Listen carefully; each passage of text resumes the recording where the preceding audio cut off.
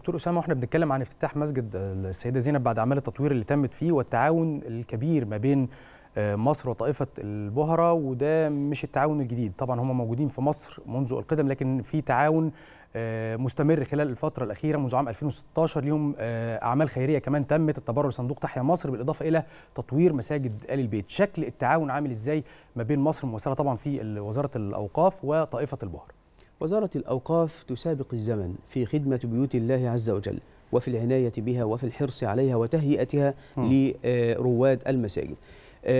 سبق افتتاح مسجد الإمام الحسين رضي الله تعالى عنه وأرضاه من خلال هذا التعاون الذي يثمر تكاملا ويثمر شيئا من البر والنبل والوفاء لآل بيت النبي الكريم صلى الله عليه وسلم. كذلك تم افتتاح مسجد السيدة نفيسة رضي الله تعالى عنها وأرضاها. واليوم نشهد هذا العرس الكريم الجليل العظيم من خلال افتتاح مسجد السيدة زينب. ربما يعني حضرتك لما تدخل المسجد في شيء بنسميه كده التطهير والتعطير. مم. يعني حضرتك بمجرد ما تدخل المسجد تجد أجواء إيمانية روحانية ذوقية شيء كده يخلي قلبك متعلق بالله سبحانه وتعالى لا تنشغل بأي شيء من الشواغل سوى العبادة لله سبحانه وتعالى. تحاول أن تفرغ القلب والعقل عن أي شيء سوى أن أن تكون في هذه اللحظات بين يدي الله سبحانه وتعالى. فهناك تعاون مثمر وهناك تعاون أدى إلى هذا المنجز الحضاري العظيم الذي نراه والذي سنراه إن شاء الله رب العالمين.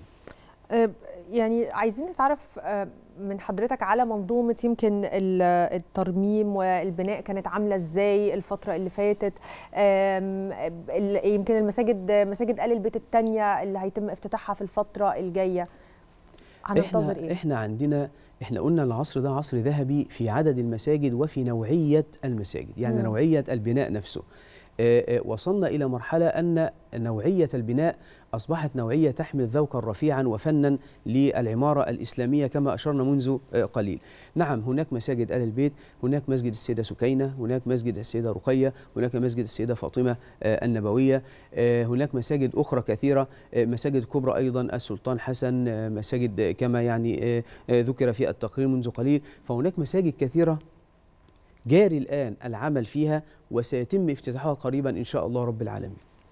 طيب دكتور زي ما بنقول إنه في اهتمام بكل المنظومة بشكل عام في إنشاء مساجد جديدة وبناء مساجد جديدة وتطوير المساجد القائمة. وإحنا عندنا في مصر زي ما حضرتك ذكرت عدد كبير من مساجد آل البيت واللي من شأنها الترويج للسياحة الدينية.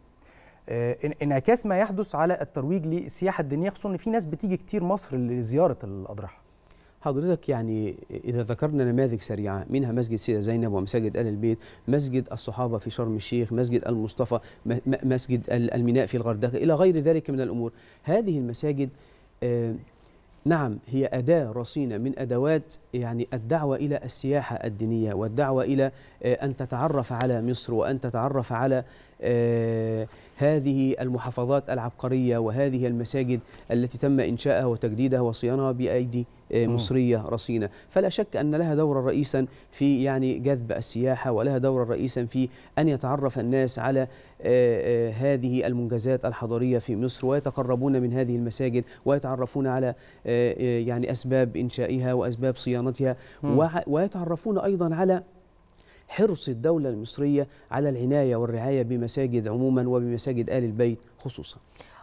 من الحاجات المهمة كمان هو ترميم المناطق المحيطة بالمساجد. يعني بما إننا بنتكلم عن السياحة فالنهاردة لما يجي سياح أو سياحة دينية يعني لما بيجي سياح عايزين يزوروا مسجد ويشوفوه مهم جدا إن هم يشوفوا المنطقة المحاوطة بالمسجد. شايف أعمال التطوير إزاي بهذه المنطقة؟ كانوا بيعلمونا زمان إن في نوعين من القراءة م. قراءة تعلم وقراءة آه اطلاع قراءة التعلم دي بتصنع إنسان متخصص في فن من فنون العلم في معرفة معينة في يعني مجال معين أما قراءة الاطلاع فتصنع إنسان مثقفا يعني يجمع بين كثير من العلوم والمعارف. فلم يكن الأمر مجرد الوقف عند حد المسجد وفقط أو حيز المسجد بل تعدى ذلك إلى المناطق المحيطة بها حتى نهيئ النفوس قبل دخول المسجد إلى هذه المناطق المحيطة بها. آه، وهذا يعطي أيضا إشعارا بأنك تقبل على مكان آه، يتسم بالقدسية ويتسم بشيء من آه، القرب من الله سبحانه وتعالى. فلا شك أن هذا الأمر يعني افتتاحات المساجد انعكست أيضا على المناطق المحيطة بها بشيء من الجمال والذوق الرفيع.